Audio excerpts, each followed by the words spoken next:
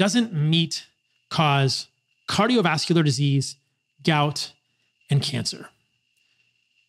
No, it doesn't. In my book, The Carnivore Code, I wrote some great chapters about this. That is an older book. And what's interesting about writing books is that when you freeze your ideas in kryptonite, they often grow and evolve because we are humans. But my views on those things have not changed at all. I continue to believe there is no good evidence that meat causes cardiovascular disease. The only thing that a vegan or a plant based advocate or someone who is trying to vilify meat with regard to cardiovascular disease could point to are observational epidemiology studies. Studies where there's no experiment done, it's just a survey. And what happens is that sometimes in some Western populations, people who eat more meat do tend to have more cardiovascular disease.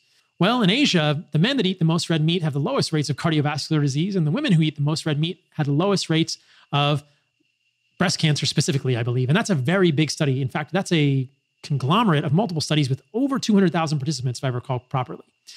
So, what's happening in the US? Well, the high level is that we've been told meat is bad for us for so long that the only people that eat red meat these days, other than the listeners of this podcast, of course, are people who are doing other unhealthy behaviors. People who are riding motorcycles, smoking cigarettes, going out at night, partying.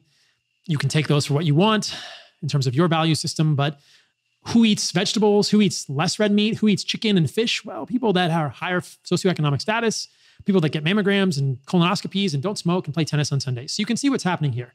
This is unhealthy user bias and healthy user bias, um, respectively, or what I'm describing in an observational study from which you cannot draw causative inference. So, meat doesn't cause cardiovascular disease. Why do we even think that in the first place? Well, because of these observational studies, ignoring the ones in Asia, and probably because the saturated fat in red meat raises LDL.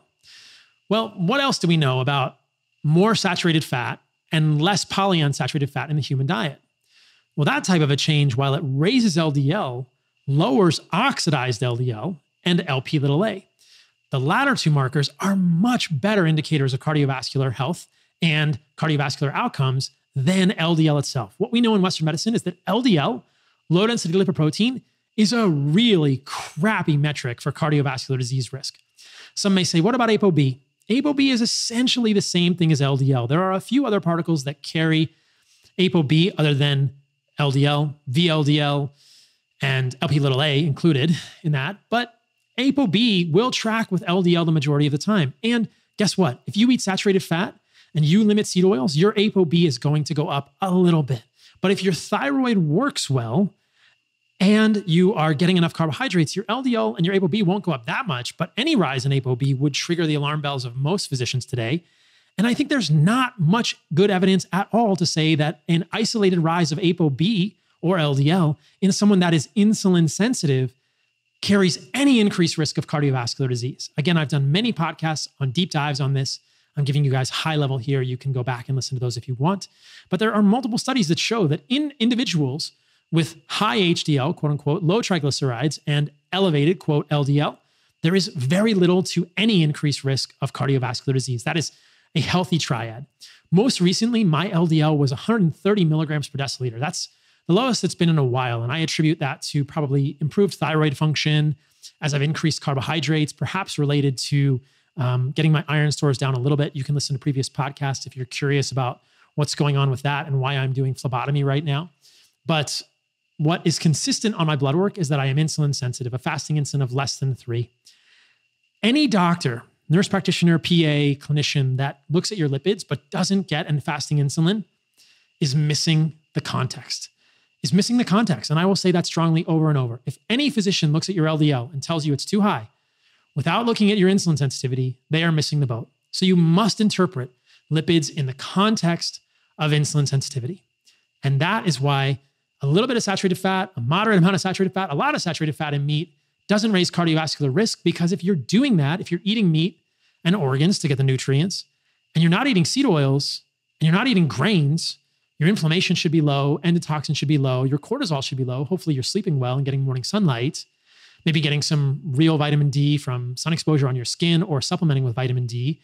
And you're eating a nutrient rich, high quality diet, you are going to become insulin sensitive. And that alone will be the single greatest prognosticator. That will be the single greatest mover in lowering your cardiovascular disease risk. I think of an example here which is a little bit close to my heart.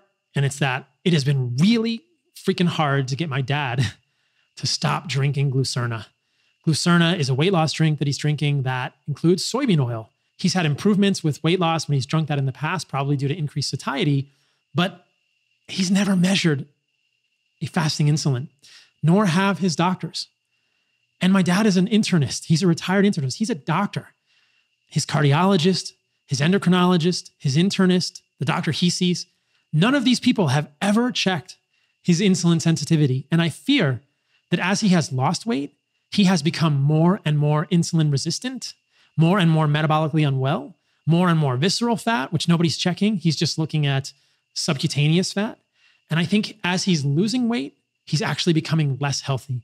And when I see him, it kind of breaks my heart because he's sarcopenic. He doesn't have a lot of muscle and he doesn't look that well. So I don't think my dad listens to this, but uh, maybe somebody can forward it to my dad and we'll change his mind. Uh, good luck with that one. So, anyway, just because you're losing weight doesn't mean that you're getting healthier. You must understand the root cause of these illnesses and have meaningful metrics in your evaluations. Just because you feel good on keto doesn't mean that all that cortisol and catecholamines are doing good things for you either. So, what about meat and gout? I have a whole podcast on this as well. No, meat doesn't cause gout. Here's the rub eating meat, eating organs, eating fruit will not raise your uric acid if you are insulin sensitive. I've checked my uric acid countless times and it's always been below four. And I don't think there are many people who can claim to eat as much meat, organs, and fruit as I do right now. If we believe the canonical view that the fructose and fruit, fruit juice, honey, or maple syrup, and the purines in the meat and organs I eat will automatically raise your uric acid in geometric proportion to the amount that you eat them, my uric acid to be sure should be through the roof, but it's not. And I've never had gout. So, granted, my genetics might be favorable, but I've seen this countless times. And there's good evidence in the medical literature that this is not the complete story. Surprise, surprise. We've seen that so many times that we are constantly presented with just part of the equation when it comes to these pathologies. Eating meat, eating organs, either fresh or desiccated, eating fruit will not raise your uric acid if you are insulin sensitive. So, what is the question that follows? Well, somebody will say, I'm obese and I'm diabetic and I'm insulin resistant. Can I eat those things? Absolutely. Just follow your uric acid. If you have a history of gout, be aware. And maybe you can't eat as much of those things until you get insulin sensitive. But I will tell you this if you have insulin resistance, changing your diet can improve your insulin sensitivity in a matter of weeks. This was a hotly debated, contested, and I think often overlooked issue during the last viral debacle. Um, people would say to me when I was really passionate about the lack of discussion of metabolic health and dietary quality change in the mainstream narrative that how can you expect someone who's obese to improve their diet and they won't be able to improve their diet or lose enough weight quickly enough to decrease their risk of pathology related to the virus. Um, I said, well, you can improve your insulin sensitivity pretty damn fast if you change the quality of your diet. So, regardless of where you are, I think many of the same interventions work. If you have a history of gout, maybe don't eat quite as much meat or as many organs or as much fructose, but manage those things and quickly you will become insulin sensitive or improve your metabolic dysfunction to a point that you can gradually increase those foods. Those foods didn't cause it. They're not the root cause, and they are the most nutrient rich sources of nutrition and nourishment for you. Last one is cancer. Doesn't red meat cause cancer? Again, the answer is no. There's no good evidence that red meat causes cancer. This gets into a whole mTOR conversation. Again, there are many podcasts going deeply down this rabbit hole. Look, mTOR, the mammalian target of rapamycin, is essential for proper human health. You activate it when you work out. You activate it when you lift weights. You activate it when you exercise. You activate it when you fast. You cannot avoid mTOR. And you won't avoid mTOR by avoiding meat because carbohydrates also activate mTOR. Anything that builds your body up and makes it strong activates mTOR. Don't fear mTOR.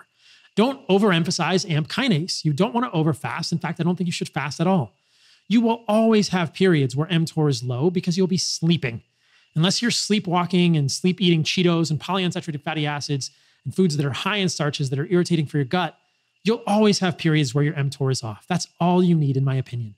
We really don't have good evidence that eating meat triggers excess mTOR, and this directly leads to cancers or any of these issues.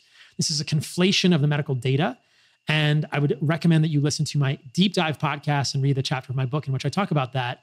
Just because there are people known as Laron dwarves that don't have high rates of cancer and don't have mTOR doesn't mean that turning on mTOR by doing things like eating meat, which creates healthy, strong bones and muscles and ligaments and protects you from age related muscle loss and sarcopenia and fractures, which are the real killer, doesn't mean that that will lead to cancers. In fact, I think that the main drivers of cancer are excess lipolysis, permeability of fatty acids, permeability of cell membranes related to excess polyunsaturated fatty acids, and underlying insulin resistance. Yes, we're back to the same pathologies. Meat doesn't cause cancer. The WHO report on that is incredibly corrupt. You can listen to my breakdowns of that in the past. There's a great article by one of the members of that committee, David Klurfeld, who was on the committee in 2015. The reanalysis and the more detailed analysis came out in 2018. The majority of members of that committee were vegans and vegetarians, and so many studies were left out of that consideration. There were only 14 observational studies, I believe, give or take a few studies in that analysis. They left out all of the interventional studies. They did not include any animal studies in the WHO judgment. And eight of those 14 studies, if I remember properly, showed no association between red meat and cancer. Six did, but only one of those six showed that that association was statistically significant. And that one study out of 14 is why the WHO believes that meat causes cancer. That's crazy. And that single one study was done in Loma Linda, California, which is a known Seventh day Adventist community, a group where healthy user bias and unhealthy user bias are very strong because the mainstream narrative in Loma Linda is that if you are eating meat, you are doing something that is bad for you. And the people that are eating meat in Loma Linda are very rebellious. And in fact, in that study, you can see that the people who ate meat will also very much more likely to be obese and diabetic and unwell. And yet, that is where the association between red meat and cancer came from. Well, does diabetes increase your rate of cancer? Yes. Does obesity? Yes. Is red meat? No. Red meat's getting pulled into the fray inappropriately. So don't blame red meat for the things that grains that are ir- irritating for your gut, seed oils, high fructose corn syrup. Listen to the last week's podcast about the differences between that and sugar or sucrose. Those are what are causing the problems, not red meat, but often red meat gets pulled in.